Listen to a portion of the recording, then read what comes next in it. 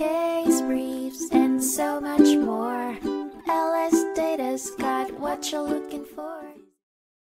In 1956, the Florida Supreme Court heard the case of Matthews v. Lawnlite Company, addressing the responsibility of manufacturers in ensuring the safety of their products. The lawsuit arose when a customer's finger was severed while examining a lounge chair manufactured by the defendant at Dean's Tropical Furniture Shop. This incident led the customer to file a complaint against the manufacturer, arguing that they were liable for the injury due to a lack of care in ensuring product safety. The case ultimately focused on whether or not the manufacturer should be held responsible for injuries sustained by customers while examining their products in a retailer's store. Both parties referred to previous cases related to manufacturer liability and the design of the chair in question. However, the court initially dismissed the case, stating that liability only applied when hazards were not apparent to the plaintiff and when injuries were not a result of careless or negligent conduct. Despite the lower court's decision, the case was appealed. Upon review, the Florida Supreme Court reversed the judgment and remanded the case for further proceedings. The court determined that if a mechanism was required for the chair,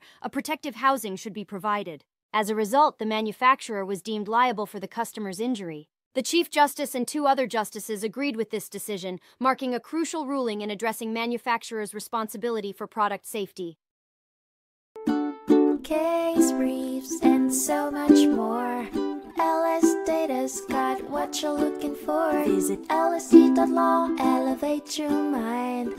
Leave the stress of class.